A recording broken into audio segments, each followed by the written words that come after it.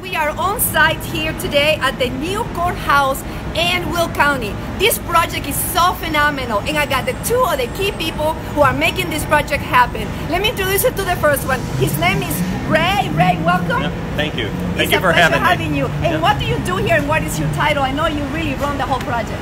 So my name is Ray Tuminello. I'm on the Will County Board as an elected official. One of the jobs I'm charged with is the chairman of the Capital Improvements Committee. And the Capital Improvements Committee is the one that's in charge of building the uh, Will County Courthouse. So now let me introduce you to Herb. Herb, how are you doing Hi, today?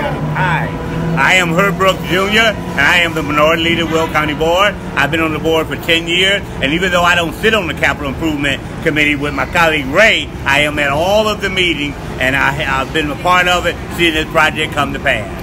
Well, I know this is a huge project. Can you tell me a little bit of history, how it came all about? What Well, one day uh, Ray Tuminello uh, woke up one morning and said, "We're gonna build a new courthouse." we had been talking about it for a number of years, but just so happened we had the opportunity under our chief of staff and our current capital improvement committee uh, chairperson to put some numbers together and start sending, do some bonding to make this all come possible. We had been talking about for a number of years, but we found out the right time was about two years ago when we put the bonding program together. Now, now, what is the size of this building? What is the, uh, how big is it? This building is currently uh, going to be 10 stories high when it's complete, about 381,000 uh, square feet. Uh, the existing courthouse, just so you know, was built in 1960s. It's only about three stories, four stories high, only 109,000 square foot. So it's about three and a half times the size. But the population has grown by over three times uh, the population than in the 60s as well. Yes, well, this is going to be, like you said, humongous. I mean, Oh, when I walk into Joliet, you, you can't miss it. So No. it's a phenomenal structure. Yeah. Now, what's going on Herb, with the courthouse? I mean, is the courtrooms are going to be in one building? Tell me a little bit. No, we have annex. We have juvenile court, west side of Joliet, across the bridge, and we'll have ten floors here with courtrooms. But uh, we do have six courtrooms that will not be a part of this project. Okay. And now I know there's one very special area that's going to be built here, which is actually the food court. Oh, yeah. And the general waiting area. So oh yeah, tell me what's going yeah. on. Expanded. Right now, if you go over to the old courthouse, you'll see vending machines. But we're going to have an expanded food court in this facility, something for everybody. And there's going to be enough room there for all of our guests to get in during your waiting time to make it comfortable and more palatable for your stay there. I love it. I think people are going to be happy to come. I know I will. Now, let me ask another one. Is the circuit clerk office going to be here? Yes, ma'am. The circuit clerk office was currently on the second floor of the old courthouse. We'll come into this with state of the art, and we'll have all the technology and, uh, and be able to use all of our uh, technology of the new courthouse. So yes, she will be here as well. Now, Ray, what is the actual cost of this project and how was funded? Sure. So the actual cost of the 10-story building, the new building here in, in Will County, is uh, we're budgeting 215 million dollars. When we went to the finance committee, I know um, Mike Fricilone is our chairman of the, the finance committee, and what he decided to do is put some numbers together, run it through his committee, and he decided that he's able to build uh, this project along with the other ones like the health department. He just got done with the sheriff's station, the 911 building, animal control. We're doing quite a bit of projects. But we're going to be able to do this while keeping the tax rate lower than it was the year before. So we've lowered the tax rate each of the last three or four years in a row, and we're going to continue to do that even while putting uh, these projects online. Great job on Yeah, that. absolutely. Now, on this project, there was a lot of improvements in security. Can you brief us a little bit? I, I want to let the capital improvement chairman Ray talk about Yeah, that. go ahead. Yeah, thank you. So I can't really get into the details of what we're doing with security, uh, but I can assure you and anyone who comes into this building that we are going to have the latest and greatest technology in place to make sure that not only uh, you as an individual who comes in, but if you're a juror, if you're a policeman, uh, everybody's protection will be uh, at the utmost, uh, you know, importance. However, one of the big changes that we did do in the old courtroom or in the old courthouse, the prisoners, the inmates, the individuals that, that are allowed to have due process, that have to go to the court, they were riding in the same elevators as the judges, the plaintiffs, some of the attorneys, the cops.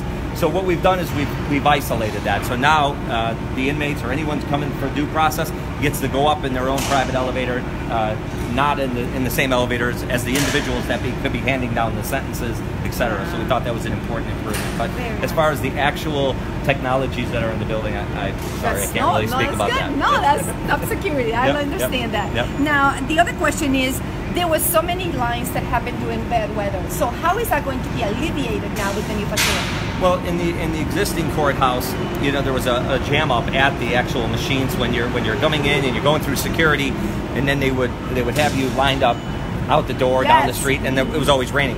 Here we will have a state of the art uh, infill system where people will be able to go in, get in the turnstiles under roof, and actually get checked in uh, by multiple individuals through different uh, screening sections. So they're no longer standing outside; you'll be in, indoor the entire time. Great. Now I go back to you. Okay. Now, what is going on with the parking lot? I mean, I know people always ask, where are we going to park? Where would the parking lot be? Behind us is Chicago Street that runs north and south. We have entered to an intergovernmental agreement with the city of Joliet, the mayor and the council, to uh, uh, open up Chicago Street South. So there'll be parking lot there, and just behind us, south side behind us, is additional parking. So we'll actually have more parking than we have right now. As you know, as the courthouse begin to come together, Ray already mentioned the growth of Will County. We want to be able to accommodate all of the clients and customers that come downtown to this new courthouse. So there'll be additional parking. Wonderful. That's great news for everyone. Yes. Now, one other question for you.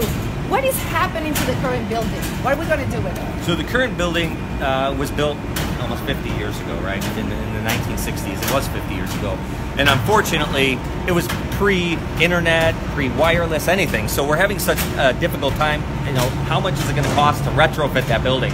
Our consultants and engineers have estimated it's going to be about 42 million dollars just to bring that building into compliance with today's needs. Uh, and at that point, it was either that or a 1.5 million, and we could uh, demolish the building and start new. So we're leaning right now towards demolishing the building, taking it down for the 1.5, and then creating a building that really meets and meets the needs of the, the county today. Uh, right now, if you go to the health department or you go to the land use department, you're in multiple buildings scattered throughout the city of Joliet. There are some opportunities to bring those synergies together, combine some of the operations, and put it under one location just for ease of use and convenience for the end residents. So that's, really great. what we're. Yeah, I look forward to a future. I mean, really Absolutely. is planning everything moving forward. Now, one last thing I heard, the congratulations are, are on Yes. uh, because you can receive a new award here, a national award for Yes. the design of the building. Tell me a little bit. So we, we were just informed that the, the designers of the building, Wight and Company, uh, was awarded uh, a national uh, honor architectural for the AIA Association, the Architect Institute of America. They have given a, an award for the this the architecture of this building. We should be receiving it, I believe, in New York uh, by the end of the year. But it's pretty exciting. You know, and one other thing, when we talk about awards, awards are great, but one of the biggest things that I'm really interested in, and I get a report every week, is the safety, the man hours. We're 30, 40,000 man hours into this job already. Thankfully, thank God, no injuries. Yeah. And and Gilbane has done a phenomenal job. I know we were laughing in the in the unit. Now we've got to put the hats and the glasses Yes. and gloves and vests and these work boots. I mean, I'm wearing a suit and work boots. That's right. But but at the end of the day, we want every worker to go home safe. We want Yeah. everyone to go home to their family. And uh, Gilbane has done a great job. So Wight and Gilbane have done a tremendous job for the for Will County. So we have one more area that we really need to understand is there is a process that started and we were going to end. So when did you Sure. begin the project and when are we expect to complete the Great. project? Well, right now you're in the command center. So the command center here for Gilbane Construction, they have everything from their weekly meetings to their daily meetings. Uh, get the project started every day. The workers go out, they get the jobs completed. On the board behind you, you have a set of tasks that happen every single day, every single week, and we forecast this out four weeks in advance. Now we can. It, we're, it's impossible to know when it's going to rain, when we're going to have a cold day, a snow day, a rain day. So this board is constantly in flux. It's constantly moving. To answer your question more specifically, we started the project about a year ago, and we're hoping to finish about September of 2020, pending you know some harsh winters and some you know monsoons. But Yes. outside of that, we should be finishing about September of 2020. Great. And right now you're on task, so great job. And I know everybody's putting their first efforts for security, safety. Yes. So we're looking forward to this project in September 20. 2020. Yep, we're, on, we're under budget. We're on time. So let's just keep it that way. That's right. Thank you so much. Yep, thank you. Now, we have one of the other behind the scenes key players for this project. So give me your name and what your role here in this project. My name is Ragan Freitag. I'm the chief of staff for the county board. There's 26 county board members, and I am there for them 24 7 whenever they need me. So I do the day to day operations for whatever they need or any events or any meetings that mm-hmm. they need me to attend on their behalf. So you keep everybody on task, everybody on schedule, and research, correct? I try. well, you're doing a great job. Thank you. No problem. Thank you so much for stopping by and saying hello to us, yes. and we look forward for 2020 yes. September to get this job completed. Thank so, you so much for you. stopping by. We love it.